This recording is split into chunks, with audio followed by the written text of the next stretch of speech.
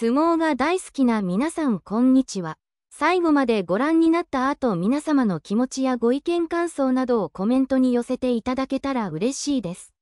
それでは早速参りましょう。最近の元白鵬、宮城野親方の動向について、茨の道なのではないかと降格処分を受けて、専門家は述べています。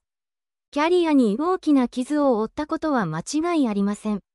大相撲宮城野部屋の暴力問題で、元横綱白鵬の宮城野親方に2階級の降格処分が下されました。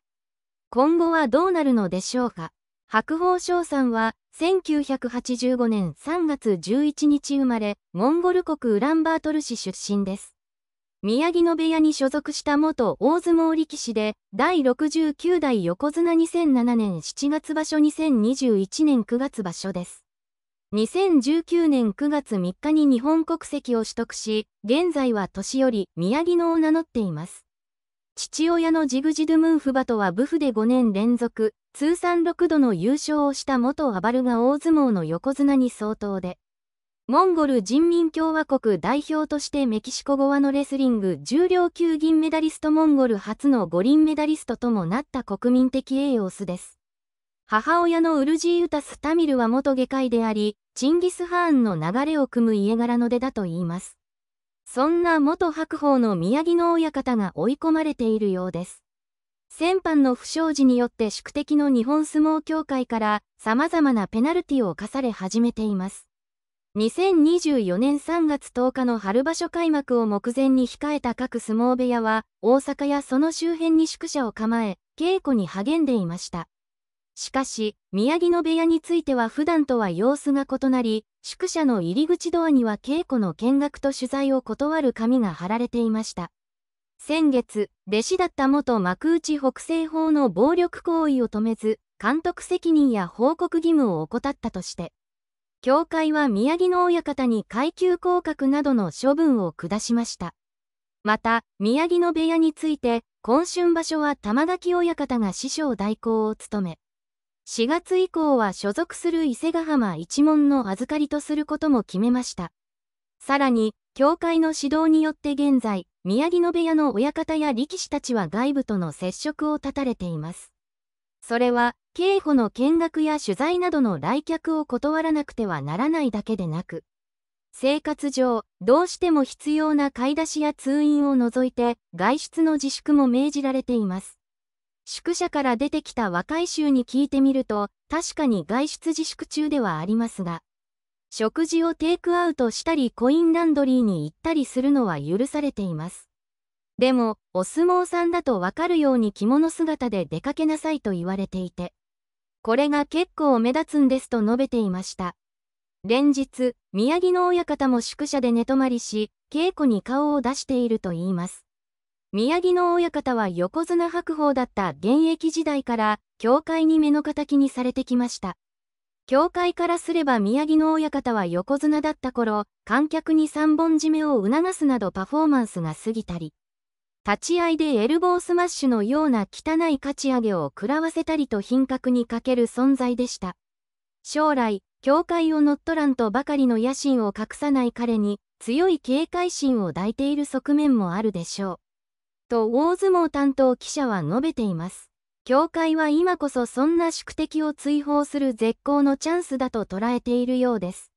猿協会関係者によれば、今、宮城の親方や弟子たちは協会の命令によって、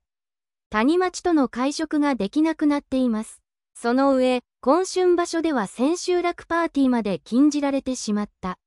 親方や力士にとって谷町との交流は遊びではなく重要な仕事です。これを制限されるのは、食い縁を召し上げられたのと同じことだと思いますとしています。北西法の暴力行為の実態は、発表されている内容よりもだいぶ程度がひどかったと言われており、宮城の親方に同情の余地はありません。しかし、その一方で教会の処分が恣意的なのもまた事実としてあります。例えば昨年、陸奥の部屋でも弟子の暴力行為が隠蔽された問題があったのですが、陸奥親方の処分は極めて軽い報酬減額でした。この先、教会は宮城野部屋に兵糧攻めをしていきたいのでしょう。かつての貴乃花51のように、宮城の親方に各界を去ってほしいと考えているのです。宮城の親方もなかなかですが、教会のなりふり構わぬいじめぶりも、またえげつないと言えるでしょうと関係者は語ります。存亡の木に立たされた宮城野部屋は、土俵際で粘ることができるのでしょうか。そして、宮城野部屋の処遇検討が大詰めを迎えています。現在、師匠の宮城の親方元横綱白鵬、部屋付きの間垣親方元前頭石浦と力士たちが、所属する伊勢ヶ浜一門の浅香山部屋に転籍する方向で最終調整が進んでいます。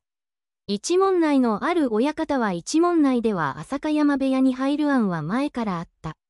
それが一番しっくりくる。5は浅香山親方元大関海王次第としました。当初は同じ部屋ではなく、同一門の別々の部屋へ移る案が有力だったのですが、日本相撲協会の執行部がその案を指し縮ました。関係者によると、力士らの将来を案じる温情的な判断と見られています。伊勢ヶ浜一門には宮城野部屋のほか、伊勢ヶ浜元横綱旭富士、旭山本関脇琴錦、浅香山、味川本関脇網錦、大島本関脇極天宝の5部屋がありますが、執行部と浅香山親方を中心に話し合いが進んでいる模様です。ら、まさに土俵際に追い詰められた白鵬ですが、その裏には根深い相撲協会との根深い因縁がありました。かつて白鵬は、相撲界の優等生と呼ばれていました。モンゴルから一緒に来日した6人の力士の中では、体格も細く、目立たない存在でした。それでも大横綱として偉業を成し遂げられたのは、稽古に取り組む真面目さ謙虚さ、忍耐強さがあったからです。かつては注目もされず、苦労した経験から優しさや義理人情もあり、弟弟子などからも慕われていたとベテラン相撲記者は述べています。ところが、現役終盤になるにつれ、白鵬と教会との溝が深くなっていきました。前述の通り、素行に粗雑さが見られるようになりました。現役時から白鵬は理事長として相撲協会のトップに立ちたいという野望があると言われてきました。悪しき慣習にとらわればかりの相撲界の改革に乗り出そうとしていたのです。以降、白鵬の土俵上での振る舞いには何かにつけて物言いがつくようになりました。立ち合いで変化をしようものなら横綱らしくない。勝ち上げを食らわせるなど、土俵を割った後に土俵下まで突き落とすダメ押しといった振る舞いにも、資質を疑うと、協会内からの批判の声は大きかったとベテラン相撲記者は語ります。溝を決定的にしたのは、白鵬の引退時の親方就任のいきさつでした。大相撲の世界で親方を名乗って自分の相撲部屋を開くためには、105ある年寄り株という権利を持っていなければなりません。この年寄り株の取得には様々な条件がありますが、その一つに日本国籍であることがあります。ところが白鵬は圧倒的な成績を残すことでそうした規定を超えて、日本国籍を取得せずに権利を得られないか模索していました。自身のモンゴルのルーツを残したいという思いがあったようです。白鵬には他のモンゴル出身力士と異なる点があります。ではこのニュースについて国民の声を聞いていきましょう。高遠力は賭博で引退に追い込まれたのに、白鵬はお咎めなしでは片手落ちです。賭博は刑事事件ですから時効成立までは刑法事件の被疑者です。今までの行動に天罰が下りた、これしか言いようがないです。大変気持ちが良いです。ざまあみろ、と言いたいです。こいつは何してもすべて許されるので相手にしない方がストレスたまらないので良いですよ。北西方もモンゴル人だってことを知らない人たちも結構いますね。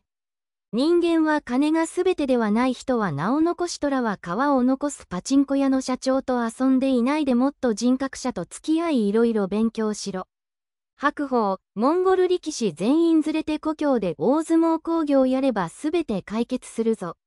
ヤクザになった方がふさわしい。いじめじゃない。白鵬が親方の器ではなく、また犯罪に加担したのだ。この話がおかしい。改めなさいませ。出稼ぎ労働者に大きな顔。押させてはならない。厳しく取り締まれ、モンゴルは各界に取るな。高遠力は落ち着いたら白鵬が親方として戻ってくるって言ってたような。全くいじめではありません。正当な理由で制裁をしていますよ。制裁は白鵬の日に対してなのですよ。白鵬への処分はきつすぎかと思います。豊昇龍は大関らしくない、今回ばかりではない、立ち合いの変化、高いお金払って見に行ってるのに。情けない残念。白鵬は金を持つことで逃げ切れるぞ。金を持つこと、これだ。肝に銘じておけ。現役時代に白星にこだわったように、金にこだわれ。教会幹部の恣意的な考えで、現役時代からあることないこといじめですよ。今までに同じようなことは軽く済ませている。閉鎖社会の理事長の任期が長すぎます。人種差別の何者でもない。それは、2007年に日本人である佐代子夫人と結婚したことでした。他のモンゴル人力士がモンゴル人女性と結婚する中、白鵬が選んだのは日本人女性でした。将来、親方になって自分の部屋を持ちたい白鵬にとって、おかみさんは日本のしきたりを知る女性の方が適していましたからね。ところが、白鵬がどんなに加藤とも、親方としての適性をアピールしようとも、教会はダメなものはダメと議論すらしようとしませんでしたとベテラン相撲記者は続けます。結果的に白鵬は2019年に日本国籍を取得し、2021年9月の引退後に親方となりました。しかし、教会との間にできた溝は埋めがたいものになっていたのです。例えば、白鵬が名誉会長を務める少年相撲の白鵬杯は、アマ相撲には珍しい世界大会であるにもかかわらず、日本相撲協会は公演にすら名を連ねていません。ひとえに白鵬のイベントだから協力したくないのでしょう。本来、協会がやるべきことを、白鵬が自分でスポンサーを集めてやっているんです。協会は行動力と先を見る目がある白鵬を妬んでいるとしか思えません。大相撲の裾野を広げることに貢献しているのに、ちっぽけなプライドが邪魔しているんですと別の相撲ジャーナリストは語ります。白鵬はしばらく弟子の指導から離れ、一門の部屋付きの親方として活動していくことになります。協会の現理事長、八角親方はあと4年で定年退職となり、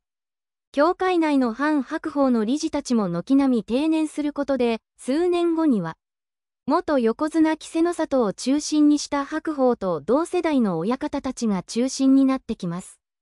そうなれば、白鵬は復権できると考えているようですが、そんなに甘い話ではありません。そればかりか、部屋付きの期間に別のトラブルが起きたり表面化したりすれば、懲戒免職にまで話が及ぶ。そうなれば白鵬の記録はすべて参考記録になり、最多優勝も最多勝利も記録保持者が日本人に戻ります。協会はそこまで絵を描いている様子もあると別の相撲ジャーナリストは述べていました。そんな白鵬にはあるトラブルを抱えている状態でもあるといいます。2022年10月、元白鵬にはすでにトラブルが囁かれていました。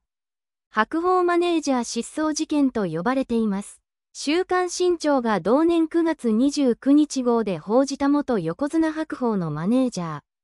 近藤翔太氏当時40の失踪騒動に新展開があるとしました。なんと、方々から引き出した借金の総額が10億円にもなるというのです。近藤氏はなぜ巨額の金を溶かしたのでしょうか。3億円の債権を抱える会社社長が明かします。A 産原文では実名このようなことになってしまい本当にすいません。何か一つ歯車が狂い底感となどを行うオフィス根性の代表取締役でもあり、大規模な小中学生の相撲大会白鵬杯もじきる白鵬の側近中の側近です。その近藤氏が同年7月頭から失踪していたというのです。そう報じた週刊新潮9月29日号の週刊新潮9月29日号の記事では、彼が放送作家の鈴木治氏からの借金を踏み倒している上、白鵬あるいは宮城野部屋の資金1億円を持ち逃げしている可能性があることも紹介していました。しばらく逃げる日々になる。A 社長への手紙にはこうも記されていたそうです。近藤氏が本当に命も狙われるほど切羽詰まっているのかどうかは口述しますが、彼の地元大阪の関係者は本人は借金が10億近くまで行ったと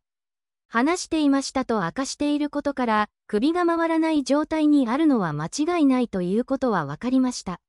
そしてその借金10億円のうち3億円を近藤氏に貸しているのが A 社長なのです。近藤と最後に会ったのは7月1日、夕方お茶をして、この時は普段通りでした。その3日後の午後7時前に LINE を送ったら既読にならない。1、7月6日に会う約束があって、午前中に今日はよろしくと送ったらこれも既読にならず。電話をしたら現在使われておりませんと。近藤には逃げんと出てこい、手紙なんかいらんからとにかく金返せと言いたいと述べています。そう憤る A 社長が近藤氏と初めて出会ったのは十数年前のことだったそうです。宮城野部屋の講演会の方を通じて、まだ横綱になる前の白鵬石に、パチンコ屋のイベントに出ていただいたことがあって、その時に初めて近藤と会いました。その時から近藤は自分、ギャンブルが好きなんですよなんて言っていて、西成に行くと、指三本ないおっちゃんいるよなとか、そういう笑いが通じる。また、私と同じ大阪出身ということもあって仲良くなりましたとしています。週刊新潮の報道で相撲界の野球賭博汚染が明らかになった際、近藤氏も野球賭博に関与したとして謹慎処分を受けていました。さらにその後、警察の捜査の過程で八百長メールが出てきた時には、仲介役と疑われて相撲協会の聴取対象になったそうです。死が白鵬の秘密を握る男と言われるゆえんだと言います。ちなみに彼のことを知る大阪の関係者前出によると、今の白鵬があるのは俺のおかげだと言っていました。八百長のことなのか野球賭博のことなのかはわからないのですが、昔はいろいろとやっていたからなぁとも話していたと、このように意味深に語っていたそうです。兄と一緒に脱毛屋をやるからお金を貸してくれと言ってきたことがありました。頑張りますと、語いついていました。所属力士の置かれている立場を考えれば、渾身ここにあらずの状態で春場所を取り組んでいることでしょう。